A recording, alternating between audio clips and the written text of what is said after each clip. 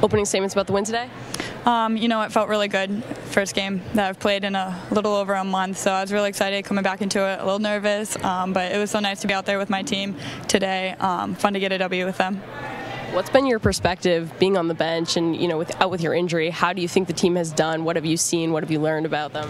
I mean, they've done awesome. I had all the confidence in them the whole time. You know, uh, Fish and India really stepped up. Um, been playing really well. Jade, you know, has been playing really well. Um, so I just had a different perspective on the bench. Got to see some different things, and um, yeah, I mean, they've been playing awesome. I never had a doubt that they would. Uh, so it's just nice to be back out there with them first game back from injury, how's that feel for you and your body? Do you are you hesitant at all? Did does it affect anything else?